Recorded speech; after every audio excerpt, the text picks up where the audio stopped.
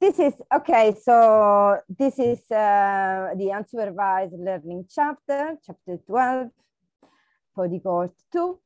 Uh, this uh, first part of the chapter, we do principal component analysis. So the learning objectives of this uh, um, first part is to understand uh, principal component analysis, make a visualization using principal component analysis, and then have uh, an introduction about matrix decomposition to make principal components. Okay. So unsupervised learning techniques are used to reduce the dimension of the data set. And suppose we have a data set composed of n observation and p features. So we have a matrix n times p. What we want is to select the best composition among our p features to achieve the highest value of data representation in a lower dimension environment. So a little recap to uh, about the differences between supervised and unsupervised learnings is that first thing is supervised means guided, okay? So it's intended as a guided by a response variable. our dimension reduction analysis is supported by an outcome when we do supervised. And this outcome variable uh, will serve as a control variable for the result of the analysis. So we have something. On the contrary, the unsupervised analysis hasn't got a response variable to use as a checker but the dimension reduction, reduction is carried on only on the features based on the variance level. So this is the reason for which the unsupervised learning technique is a bit more challenging. So we do not have something such as control variable to rely on, on to verify the result. Basically, this, the the main scope of the unsupervised principal component analysis is data, data visualization to obtain a visualization of all the components of the data set in a lower dimension space um, and have an idea of the, the relation. What uh, else we can say about this is that uh, when we do unsupervised analysis, we deal with a matrix of numbers. And we are just comparing these vectors. And this is because the scope of the unsupervised analysis is data visualization. Because if we would like to represent more than two vectors, in a, in a visualization. We, we need more dimension. So we like to have a, a visualization in two dimensions, for example. So we uh, need um, a transformation of the variables in a way that we have just two elements to project in our bidimensional uh, visualization. Okay, and this in general would be the first two components. Okay, so we transform our uh, matrix of data of a certain number of predictors, so the features, a number of features, in uh, a reduced amount, uh, so a lower amount of components. And usually the first two components uh, explain the, the, the highest, the, the, most of our data. So we can uh, have a, a, visualization which is bidimensional with uh, the first and the second component. Okay, so what are the steps to principal component analysis? Here we have a, some a bit of math, okay, to understand what's happening. So the step to unsupervised dimensionality reduction principal component analysis are variable normalization. So we scale the variable in a way that they all uh, are the same uh, mean, variance, and uh, standard deviation. So they have mean zero, they are centered, and so they are scaled. Uh, then we search for the highest variance component selection and then reduce the variable to, uh, and then uh, a linear com combination, we, we find, we search for a linear combination with a reduced number of variables. Okay, here we need to focalize a bit about the indexes. So we use two indexes, E and J, I and J. So I is from one to M and J is from one to P. Okay, M is usually lower than P. And there, there will be uh, more information in the StatQuest uh, principal component analysis. There is a video in the chat. Um, so the our starting point, as I said, is a matrix n times p. Okay, this is our uh, matrix of data. All the elements inside are composed of x, e, and j, and everything. So it's a matrix that um, has a certain number of features and a certain number of observation. So of this matrix, we now uh, take a section. So let's say the first, the first row, the first observation, which is x um, sub one to x sub p. So these are the, the uh, this is the first line of, of this matrix. The linear combination of this uh, uh, x sub j and the betas, which are the coefficient that we are searching for when, when we make um, a model. And so we do some analysis and everything. Uh, and um, are uh, composing a, a, linear combination. So in this case, we don't have a y because y would have been the uh, response variable. In this case, we are thinking about just the linear composition of our features. Okay, uh, and so this is the linear combination of the original data. The first step is to normalize. So to normalize, we do this uh, bit here. So we take the element x, we subtract the mean, and then divide it by the standard deviation. So the new vector, z, will have a mean zero. The element will have a mean zero. So what we want is to visualize our feature on a reduced dimensional space while extrapolating the highest level of the information from the original data. In order to do this, we reduce P to a, low, a lower value, M, which will be lower than P okay, to obtain, or th th there's more to say about that, and we, we, we will will see later, to obtain a sample which is representative of the level of variance of our data. So our new Z sub M vector, it's a composition made of M features, where M goes from one to M, capital M, and this is this will be the new vector so the, the standardized vector. Then what we want is to find a linear combination of, our, of this vector. So we need to find these phi elements because we, we mm, okay, the, these phi elements. So it's a bit of turnaround. So this is what we want. Um, and uh,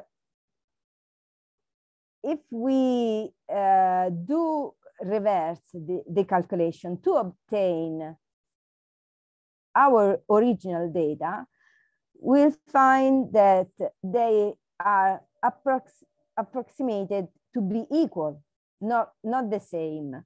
So the, the sum of our linear combination would be equal to our uh, um, original elements. uh, so um, these elements, the phi elements here, are named loadings. So to find these elements, so this new vector, there is a, a matrix decomposition.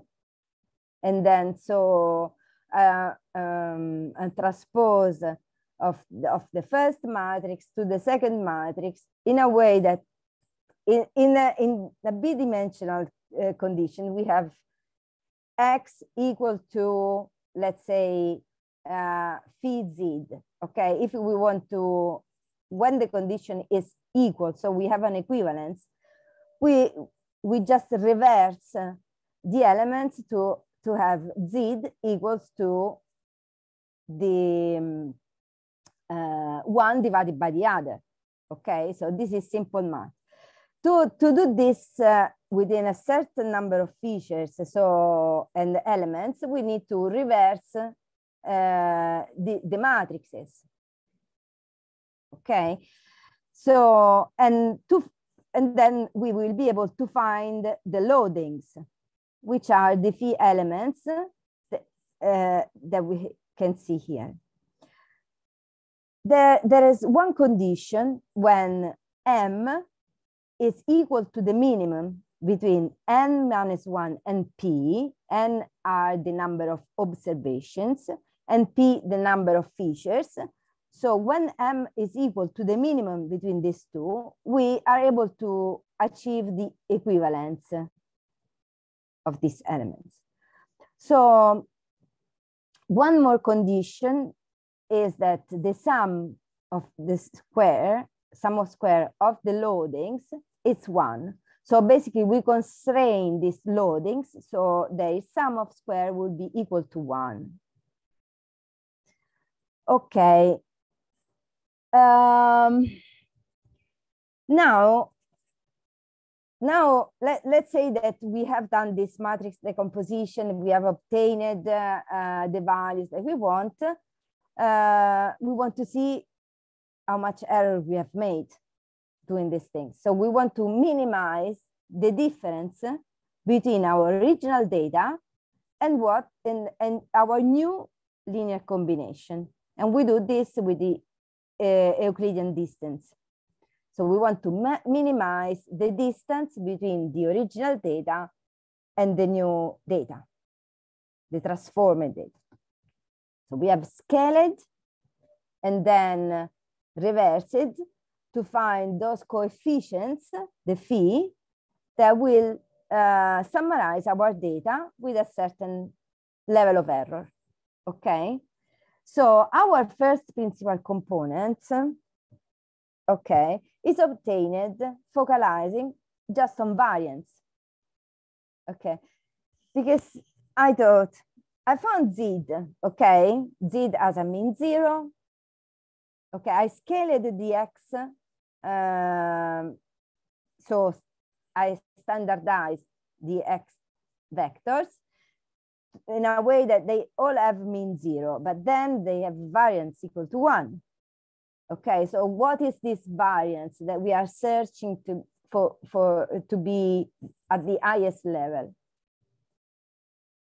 Okay, I don't know if it's just a question that, but uh, is the Z that as the variance equals to one. Then we multiply this t for uh, a phi coefficients. And so it's there that we are searching for the variance. We are searching for the variance of these two elements. So the variance of x in the original data goes from, uh, is the sum of j that goes from one to p, the number of features, and is done with this formula, no? Is the standard deviation the squared of the squared. Now, when we have transformed information so we have our, our Z.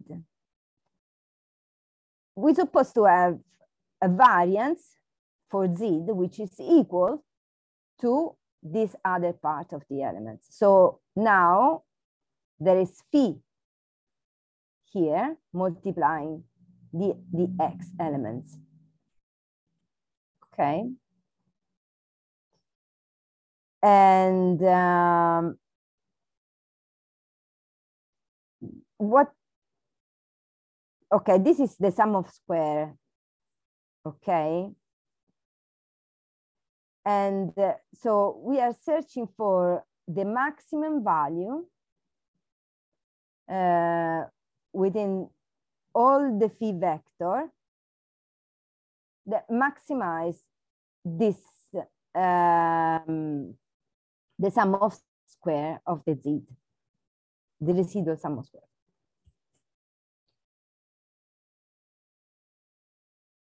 Okay. Mm, then, so this is uh, equal to this, exactly the same, but shows that what happened on the first when we just select one element of our matrix. And this is subject to the fact that the, the square uh, of the loadings, the sum of square of the loadings need to be equals to one. So how do we do these things? How do we achieve these things? How do we calculate these things? Okay, the calculation of this objective passed through the eigenvalue decomposition, as I said, so the matrix decomposition, which alternative is the singular value decomposition. And this is what we are going to see. So using the function in R, singular value decomposition, we can see how the matrix compose. So having said that, uh, that we have found the, the, the components with the highest variance, uh, the, with maximum value, uh, value of the variance and everything, how much of the information in a given data set is lost by projecting the observation onto the first few principal components.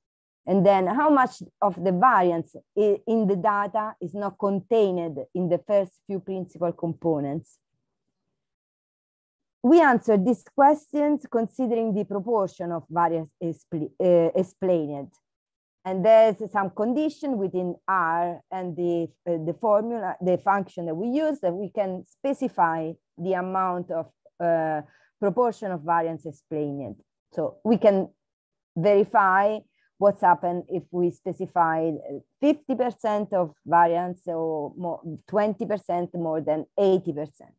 So maximizing the variance of the first M principal components means minimize the mean square error of the M dimensional approximation and vice versa. Okay, so we we can see we can see these things in both ways, maximizing the variance or minimizing the mean square error. In conclusion, the principal, principal component analysis is a question of minimizing the approximation error or maximizing the variance. Okay. Now, this is the best part. Okay. So we do this for making a visualization. Okay. And uh, for example, I have uh, uh, ad spending versus population. So this is a graph that uh, is being mentioned in chapter six of the book and uh, again mentioned in, in this chapter because it clearly shows how principal components uh, appear in uh, when we go back to uh, visualizing our original elements as well as the uh, information provided by the principal components. So we have ad spending versus population. Obviously, it's a, a increasing uh, trend. And the, the green line is the first principal component, while the, sec the second, the blue uh, da uh, dashed line is the second principal component. Okay, um, the, the key things is that the second principal component is orthogonal. That means perpendicular to the first principal component.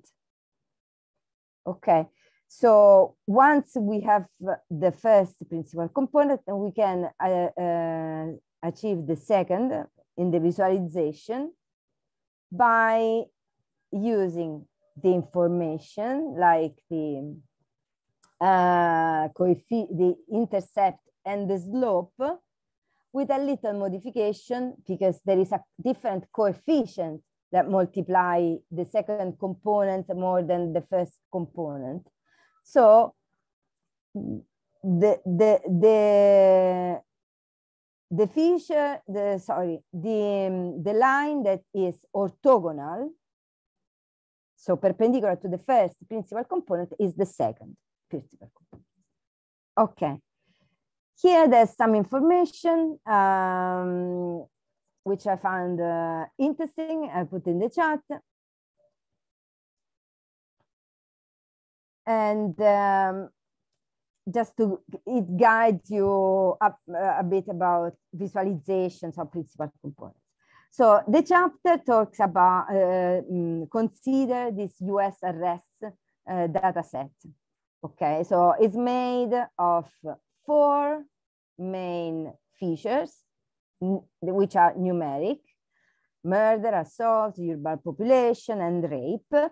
And then there is a state vector, which is uh, the, the factor, so the, the um, uh, it's a character vector. We don't use it in principal components because we want a matrix of numbers unless we want to transform the state vector into a numeric one. So we don't consider this state and we focalize on this matrix. Uh, okay, here I found this function, map data frame, which is very useful because once we uh, deselect the state and then we scale, we use the scale function to uh, scale all the values. Uh, we need to use the data frame because otherwise it doesn't work. But then we, we put again, because scale, transform it in, in a, uh, the data as a matrices. So we need to transform it back as a data frame to use this function. But then it's nice, it's straightforward, easy. So you can see that the mean of uh, the four components is zero. Okay, so we have standardized the variables. Now I've tried to do this uh, by hand. So doing the murder minus the mean and then divided by the standard deviation and doing the same things, we obtain the same result. Okay. Um, so now, what are the loadings that we are searching for? So this vector of phis uh, that we need, okay, for, for building our new uh, linear combination. So representation of the loadings are, um, we can find it, for example, in the first and the second principal components. We use this function, then we see the matrix decomposition and we can see at the end of these things what they effectively are by calculating. But in R, we can use this uh, uh, principal, comp uh, principal component function, or uh, we can use tidy models. And there's other packages that makes the same calculation. That there's a function PCA and everything. So here, for now, we use PR components as the same in the book. We don't need to scale the, the variable before because you can uh, do scale through, which is an option uh, by default. So it does uh, the scaling. And here is the result. So these are, uh, as you can see, the loadings, okay? Um, the loadings, what are they? They are the rotation, um, the, uh, of the matrix. so the, the, the most important values, let's say the, the average, okay, um, of the of our uh, elements, um, of our features with the highest variance. Okay, now we can retrieve this value using the, uh, we can select just these values using tidy function and specifying that we want the loadings. So they appear in a, in a way that we can use it. So we have uh, uh, the, the column with the, the, the, the feature names and the value, which are the loadings. As well, we can uh, extrapolate the scores. We haven't talked about the scores, okay? Uh, we, we see that the scores obviously are the, the others, okay? So are the, the elements in our linear uh, composition. Uh, in Yeah, so we, we will see later. Uh, so we extrapolate the scores, and this is a, a 190 uh, element uh, data set. So the, the, there is much more information uh, because it's basically our data reduced to uh, four principal components. This is a way to see them. Otherwise, you can see with tidy models differently and have them uh, just as the same as here. So these are the loadings.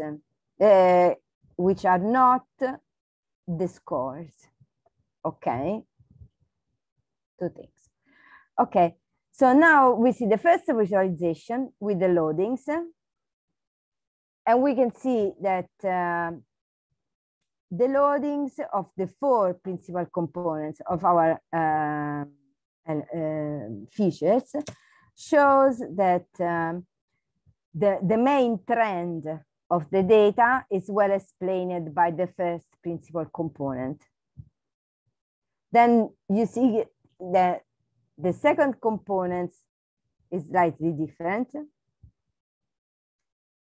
And then uh, because they, they are decreasing in variance, basically. So the, the first component is the one that contains the highest values of, of variance. Then we look at the scores to have a, a complete pictures, picture, uh, and we use tidy models. So we make a simple recipe uh, with all the elements without state because we haven't, we are not considering the state vector. We normalize all numeric. Then we do PCA, principal component, we prep and bake with new data null, and then arrange for uh, increasing, uh, sorry, decreasing uh, the first principal components. So in this case, we can see uh, that um, the, the visualization, so the, the, uh, scores are uh, in the same uh, visual, um, visually in a, in, a, in a data set as the same as the loadings here. Okay, so we can do this with tidy models. Then what happened is that um, uh, mm, as I said, the loadings are the rotation, okay? So we can even select the, the loadings this way with a, a dollar sign and rotation, and then making it as a data frame and the row names to colon, we can uh, do a nice visualization of the first two principal components. Uh, DG on points, which I made a shape very little because otherwise makes confusion. And then labeling this, uh, the state, uh, because uh, the transformation that we have done before is to make the state as a uh, raw names. So they are not used when you apply the function because uh, it doesn't search for the row names. So they can be whatever you want. They can be uh, numbers, they can be characters, but they, they won't be used. So the transformation that is made in this case is that uh, the state are the, are, are the row names. So now I have transformed this and made the row names to colon after having calculated the PCA. Okay, so I put it back in the uh, in the data set, in the result. So in a way that I could use it. So I, if you label the state and then use geom text, uh, these are just, uh, we, we, we see these, these things later. You can obtain the visualization which is in the book. Okay, so the first and the second principal components, then labeling um, by states, you obtain these things. So now uh, this few line, this line in zero. So the, where is it? Geom V line with the x-intercept equals to zero and uh, the, the, mm, the y-intercept equals to zero gives the idea of where zero is. So the center of the data. Okay. So then using this, this, uh, this element, we can project the other vectors in a way that we can see how they differ from each other in a B plot, in a simple, simple biplot. And uh, the value, these are made just a, a geom segment. It's a segment that goes from zero to the loadings. The loadings is one number. Okay, so from zero to the loadings of each of these things. Where is it? Okay. Yeah. PC1 and PC2 from the loadings. So you can uh, see this way that they have, uh, some of them have a certain uh, variance other have a reduced variance. So they, they differ uh, within each other. And we can see that um, this is in, uh, going up this way, while this, for example, murder, uh, shows a different trend than urban population. Mm, I mean, non-trend, but uh, you know, urban population is more like uh, what what do you have something to say about that? Maybe. I believe the, the book explains a little more, you know, how this chart could be interpreted. And for example, you can see that in that first quadrant where the vector of urban population is located, which is the upper right quadrant, uh, you can see that most of these uh, states in the United States has a higher uh, a percentage of urban population compared with the total percentage. Okay, -huh. for example, California, uh, New York, those states have the biggest cities, right? New York, uh -huh. LA, also uh, somewhere you should expect, okay, New Jersey also, okay, that has different cities, Trenton, Jersey City and all that. So you can see that that quadrant where that vector is located points to the urban population as a high percentage of the total population. Uh -huh. Okay.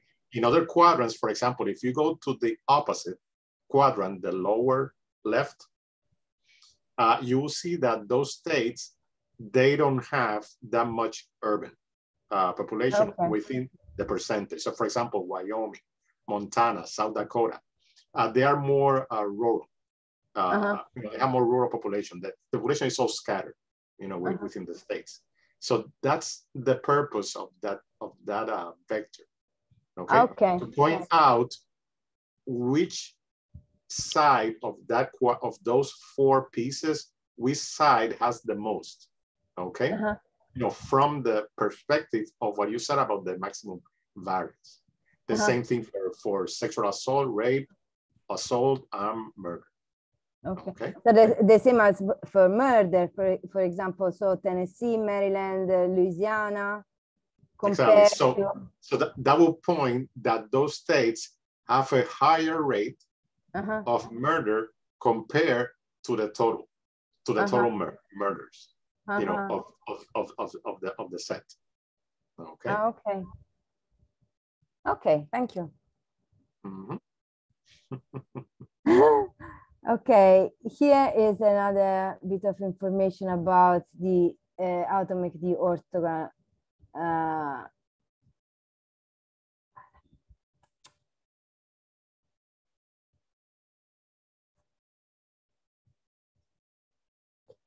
orthogonal uh, visualization. Did I put it? No. Okay. Uh, and then, um, which is this one here. Okay, so now here I have attempt, um, I've used just assault and murder. Okay, went back to the original data without any transformation. Uh, deselected the state, made the principal components, and then here there's the rotation. Okay, so I found this uh, on this uh, Stack Overflow question so that you can uh, uh, basically calculate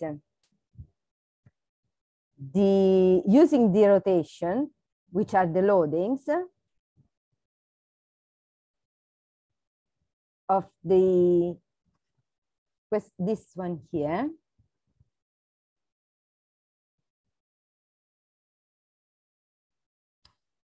So about these two components, about murder and assault, these are the, the four elements I'm interested in. So this will be the second element the uh, one, two element.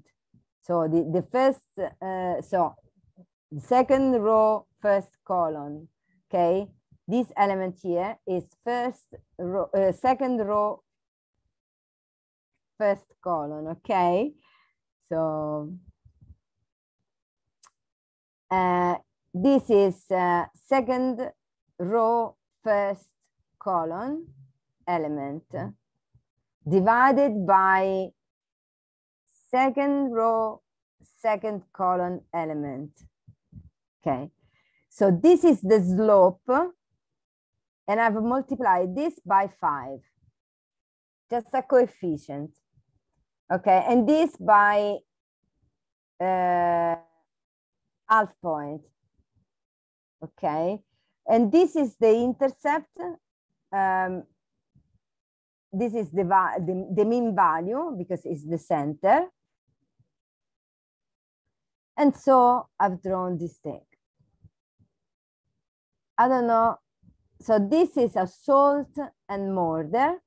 This is a linear model, a linear smooth method linear model. So a smooth, stat smooth method linear model, which will be the same doing geom smooth method linear model, exactly the same. And then draw the second component, which is obtained multiplying it by five. Multiplying the loadings by five. Okay. we got something to say.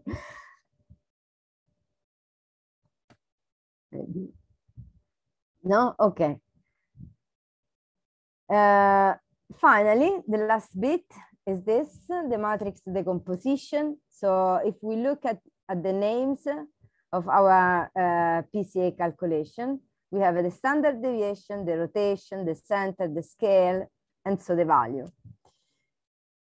So if we want to have a look at the variance, we can calculate and say standard deviation squared, and we have the value of the variance. Then what is the proportion of the variance explained by each component? So we can use the variance that we have just calculated and divided by the sum Okay, so this way we have a proportion, uh, a proportion. Okay, so the, the, the percentage of variance for, for each component. So we can see that the first component explains 62% of variance. The second component about 25. The third just 9%. So I go decreasing. So let's say that 62% is a good percentage because it's above 50. So we can say that the first two components explain most of the, the variance of our data. So we can use them for, for make a visualization. In fact, uh, with this um, visualization, we see that the proportion of the variance explained decreases with increasing the number of components and the cumulative at the opposite, the cumulative proportion of variance increases with the increasing of the principal component. So now we have this, uh, these values, okay, which are the uh, components.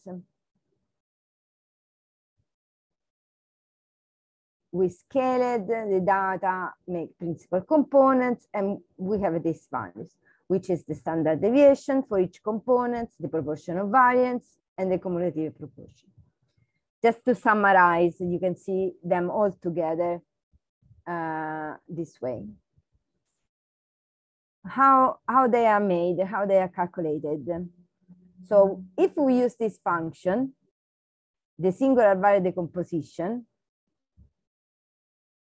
on X, okay, X is uh, our data, scaled data without states. Uh, we see if you do names, if we do names, we see the three elements and these are the three matrices. Okay, we have a D matrix, U matrix, and V matrix. We can even see uh, what are they, and we may be able to recognize some elements. V is equivalent to the loadings. U is equivalent to the standardized scores, so are the scores, and D are the standard deviations. So what do we do? We transpose the scores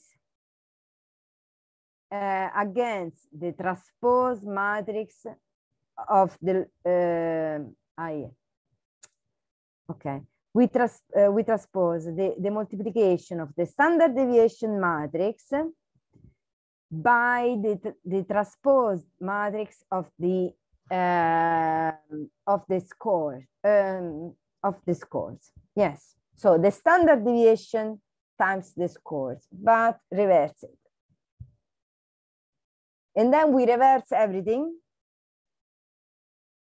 Okay, uh, and so we, we obtain the result. So these are our principal components. calculation. Finito. Some results here, some uh, references. Uh, and this is the Emil uh, uh tidy models, uh, which uh, I have here. Okay. what you can find here is some information about like comparison, how to use, how to extrapolate uh, the scores, the loading as, as I've shown. And uh, as well, uh, you can even see the eigenvalues within the tidy function that are the value of the matrix. Um, what else? Uh, you can see uh, we can see this against some uh, new data, for example, to see how they change it. And uh, I don't know. It's uh, I think uh, you can you can set a threshold, 70 percent, for example. It's the variance explained, so you want 70 percent of the variance. And uh, some visualization. So that's it. okay, very good, Federica. Okay, uh, uh, there's a lot of math, uh, you know, uh, with the with the with the PCA, but I believe that for yeah. people that are seeing this video in the future, uh, there are two reasons why, you know, you should do PCA. Okay, the first reason is dim the dimensionality reduction, right? You want to, uh, you know, reduce your dimensions, your features, so that the set that you are, you know, you, you are uh, using explains the most variance, uh, uh, you know, in contraposition to using the whole, the, the whole model, which is the 100%, right? So in this case, from four features, we reduce it, reduce it to two, right? To two principal yeah. components. Okay, and usually that's what you you have to you know analyze. Is this two you know explain most of the variance, mainly 70 to 80 percent of the model. And the second one, which is kind of hidden, is that if there are issues of multicollinearity mm -hmm. in mm-hmm. this data set, for example, uh -huh. uh, the PCA basically uh, eliminates eliminates those issues, okay? Because the transformation with the orthogonal, uh, you know, vectors, the eigenvalues, mm. they kind of, you know, eliminate or minimize the the multicollinearity within each of those features. Uh -huh. Okay, so that's another, uh, you know, uh, benefit because if you are using regression models that tend to be affected by uh-huh. multicollinearity, uh -huh. for example, linear regression, logistic regression, etc. If you do PCA, then you don't have to worry about uh, multicollinearity. Exactly. Okay. If, if of course, if, do, if that if those two PCA components, those two components give you the most variance because you have to you have to do a test. Maybe mm -hmm. there are three, there are four. Okay, Dep depending on your situation. Okay. Yeah uh, in, a, in a project that, that I, you know, that, that I use some of these techniques, uh, we had 62 uh, features, okay? And we reduced those features to around 20, I remember 2021 -huh. uh, features, about a third, okay? Because even though the two components are always the maximum, they were not reaching the threshold one, that threshold that you are explain, mm -hmm. you know, the 0.7, 0.8, which gives you, okay, these are the number of physical components that will give you that, that maximum variance. Mm -hmm. Okay. Okay. So, right. right. So next next week uh, we we do this clustering, mm -hmm. the mm-hmm. second part sure. of the chapter. Yeah. Mm -hmm. Okay. Stop sharing. Thank you. uh, great. Also, I included the the StatQuest uh, video. Ah, yes. Because I, okay. I, I, know that uh, uh, Josh has a, you know, he has a magic of explaining things very, very simple and very, you know, mm. uh, one by one. So it's good also to, you know, to, to, to get to, to get that, uh, that magic, you know, rub a little bit. okay. All right. All right. Okay, we did it. We did it. We're almost there, right? We're yeah. almost there. Yeah, yeah. Right. Okay. See you next week. next week. Yeah, sure. And we'll be around in Slack. Okay. I, I believe that there's another book club that we're starting on July, uh, feature engineering. Exactly. Okay. In July. Yeah, yeah. I think Jim is there, and also uh, uh, bo yeah. both of us are there too. So cohort yeah. two is still is still around. okay. Okay. Bye. Take care. Bye bye. ciao, ciao. Ciao, ciao.